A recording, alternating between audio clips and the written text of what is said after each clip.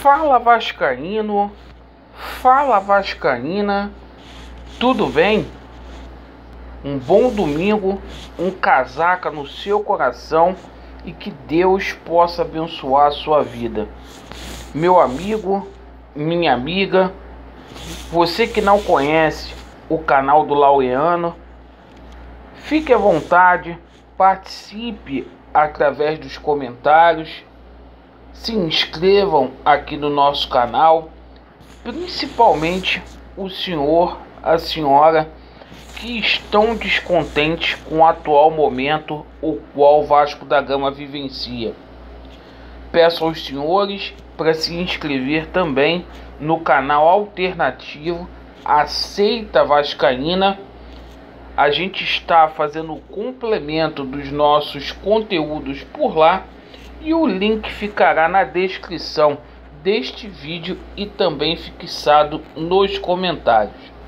Neste vídeo a gente vai falar sobre as categorias de base que deu show neste final de semana.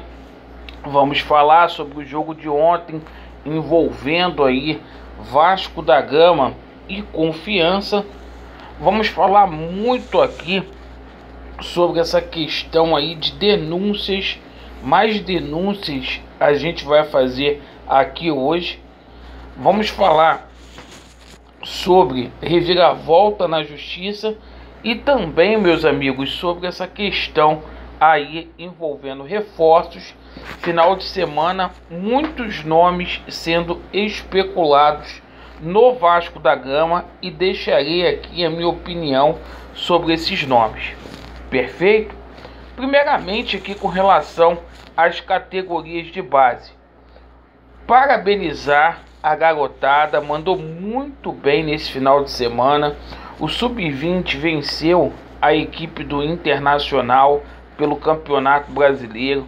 O Sub-17 bateu o Santos no Brasileiro e venceu o Flamengo na Copa Rio. E o Sub-15 venceu a equipe do Flamengo.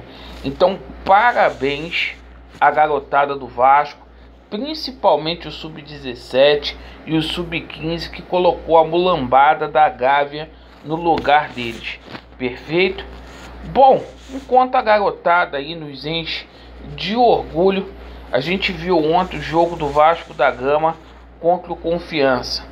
Um jogo que o Vasco da Gama jogou bem nos 20 primeiros minutos onde a gente venceu aí com um gol do MT.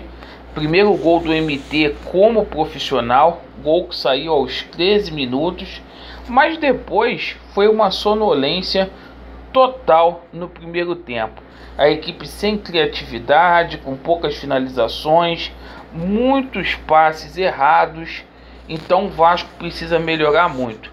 No segundo tempo, a gente foi um pouco melhor, mas abrimos muito ali o setor de meio campo ali com a saída do Michel. E meus amigos, o Vasco agora está aí na sétima colocação com 13 pontos. Nosso próximo adversário é o Sampaio Correia na sexta-feira às 19 horas.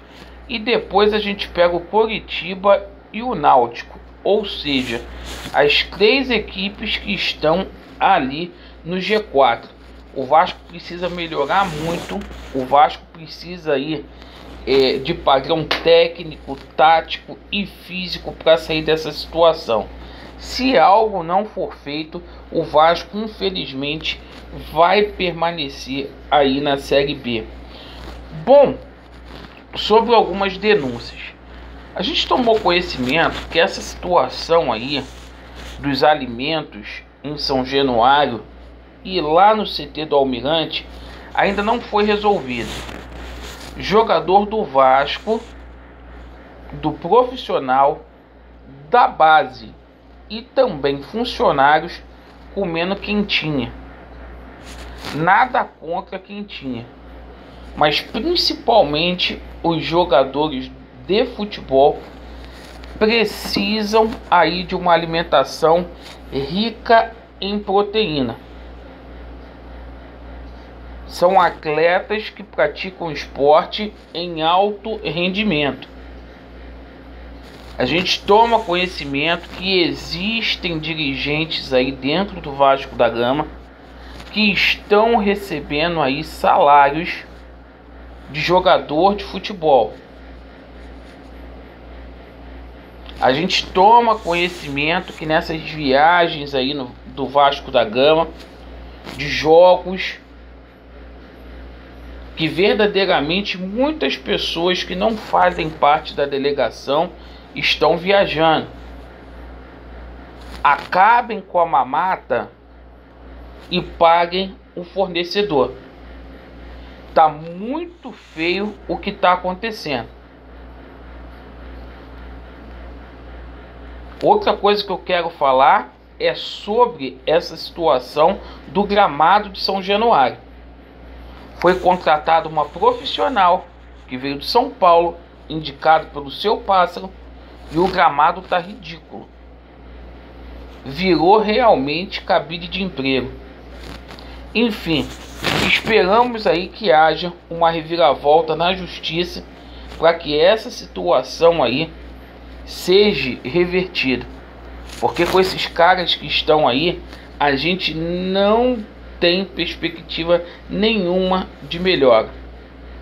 Que haja uma reviravolta pelo bem do Vasco da Gama. Dinheiro existe, possibilidade de reforços existe aí com o Levenciano, então que isso aconteça. Bom, sobre a situação envolvendo reforços. Final de semana se falou muito de três atletas aí. Dedé, o advogado do Dedé, ele disse que o Dedé tem muito carinho aí pelo Vasco da Gama e a gente pode ter aí um desfecho feliz. O staff do Dedé sabe do interesse aí do Vasco da Gama. Vamos ver como que essa situação aí ela vai ser conduzida aí nos próximos dias. Muito se falou sobre a situação do Otero. Situação do Otero que está pegando, gente, é a situação do salário dele, que é 400 mil reais mensais. O jogador teria aí que fazer uma redução salarial drástica aí no salário dele para vir jogar no Vasco da Gama. Perfeito?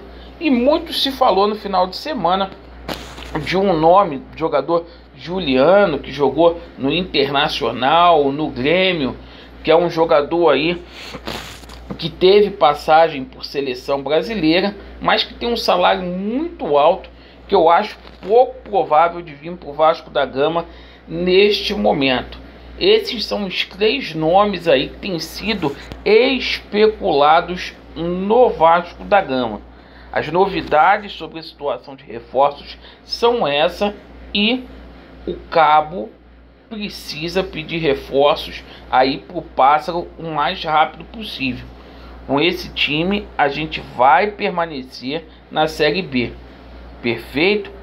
Bom, meus amigos, eu agradeço pela atenção de vocês Vasco neles, a verdade prevalecerá e vai dar Vasco.